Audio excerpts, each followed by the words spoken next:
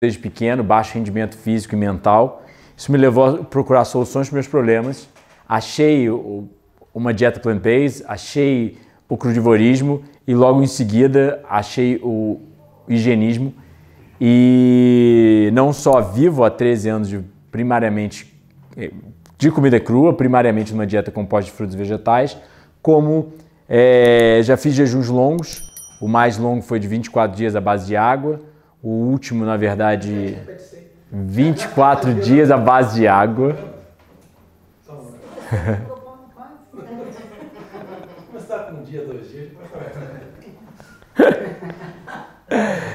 E jejuar literalmente, como o livro do Dr. Herbert Shelton, que foi o, o higienista mais famoso da história, sugere Fasting can save your life. Jejuar pode salvar sua vida.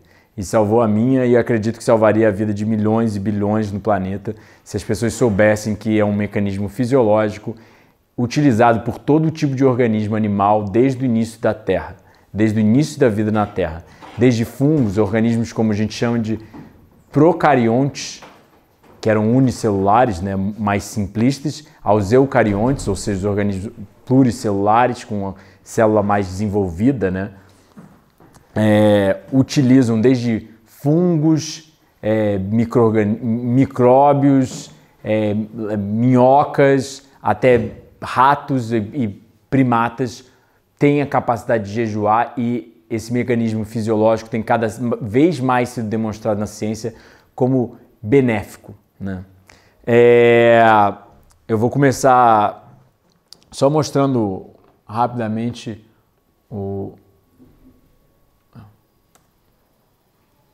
É, bom, deixa para o final da palestra e mostrar um, um, um trailerzinho do meu documentário de jejum, que foi o documentário do meu é, eu fiz um, o último jejum, eu fiz 10 dias à base de água e fiz um documentário dele, já está lá no canal do YouTube, quem quiser assistir. Tem 300 mil está chegando a 300 mil visualizações. O documentário é muito bem falado. Pode entrar. Então, bom, só utilizando duas breves citações, que eu adoro citações né, no início.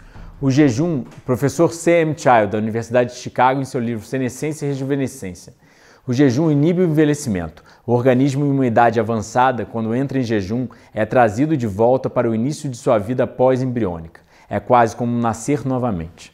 E é o que eles mostram em organismos mais simples, né?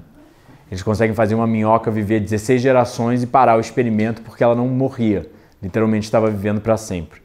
Quanto mais você alimentar um homem doente, mais doente você o torna. O Dr. Isaac Jennings, que foi, na verdade, o criador do higienismo. Aí, uma brincadeirinha. Doutor, eu não bebo, não fumo, não jogo, não tenho mulher. Vou viver muito? E o médico. E o senhor quer viver muito para quê? é o conceito usual, né? Que de vida saudável é uma coisa chata é, e, e, que, na verdade, é, um, é, literalmente um saco. Ninguém quer viver saudável porque não, não tem, sabe, você vai largar os prazeres da vida.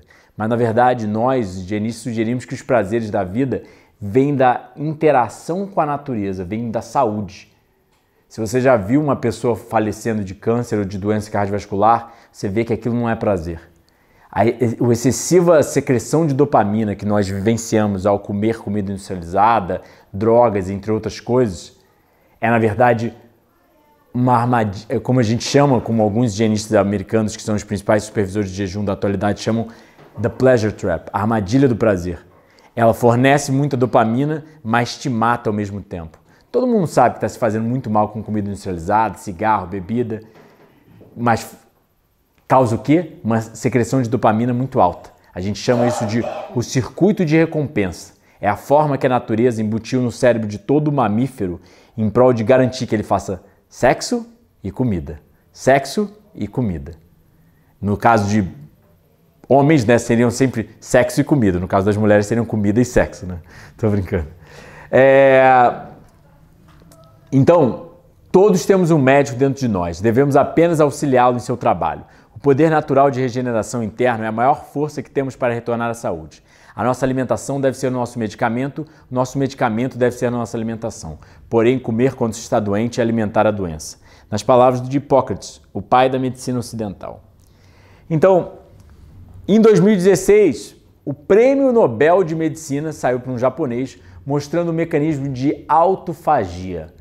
Autofagia, comer a si mesmo. É o mecanismo que a célula utiliza quando se vê privada de nutrientes. Ela, ao invés de se destruir, isso ao invés de fazer mal, na verdade faz bem. Ela liga mecanismos de reparo e reduz os mecanismos de mitogênese, de divisão celular. Ou seja, o corpo começa a se limpar, comer o que está velho, comer o que é não essencial, a gordura corporal. Eu posso até depois dar uma palestra mais sobre a parte prática do jejum para vocês entenderem mais os, os detalhes. Essa palestra é mais científica, eu vou tentar tornar ela bem simples, mas é literalmente uma reciclagem a nível celular, porque nosso organismo é que nem um carro. Quanto mais ele roda, mais você tem que parar no mecânico para trocar roda, trocar o óleo, trocar coisas. Quando a gente vive da forma usual, a gente bota o organismo sobre muito estresse e ele é, acumula o que nós chamamos de células senescentes, células velhas que precisam ser mortas para não produzir inflamação, entre outros compostos maléficos no organismo. Então, vamos lá. Nós temos alguns tipos de jejum na ciência na atualidade. Né? Nós sabemos de restrição calórica, ou seja, comer 30%, calori 30 das suas calorias a menos, jejum à base de água, jejum intermitente, são inúmeros tipos diferentes é, é, é, formas de jejuar. Né? Mas o jejum de água, por exemplo, ele liga as células tronco e durante o processo de alimentação o corpo literalmente se regenera a nível celular. A gente está mostrando que as células do sistema imune se renovam como se fosse um organismo mais novo e as células tronco voltam a produzir é, voltam a produzir como se fosse um organismo novo também, né? É, a autofagia, o corpo elimina células velhas ou danificadas, pelo qual a célula degrada seus componentes através do alto consumo de organelas e proteínas. É, bom, pulando isso, vamos para a parte um pouquinho mais interessante. Tipo de jejum: restrição calórica, jejum intermitente, ou seja, comer de forma mais espaçada. Alternate day fasting, dias alternados de jejum, seis dias, come, seis dias comendo e um dia jejuando.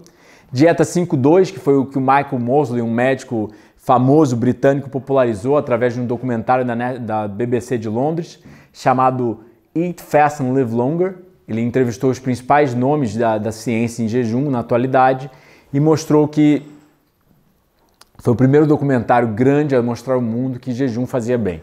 Jejum de sucos, jejum de água e o que nós higienistas recomendamos que é o jejum higienista. Ou seja, nós reproduzimos a forma que animais jejum na natureza, a forma que seres humanos também jejuariam.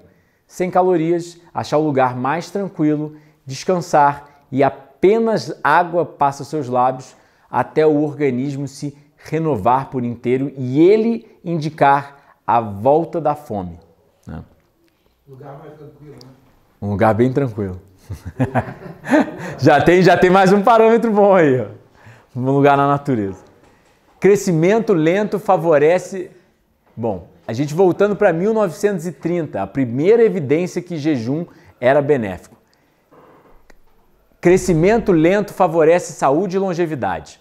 Na atualidade, enquanto crianças e animais são alimentados para alcançar a máxima taxa de crescimento, parece nada menos que uma heresia apresentar dados em favor da teoria anciã que sugere que crescimento lento favorece a longevidade.